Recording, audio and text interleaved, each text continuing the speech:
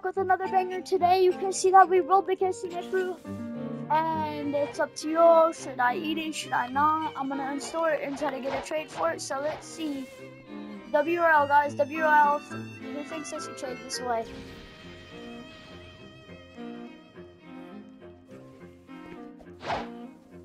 I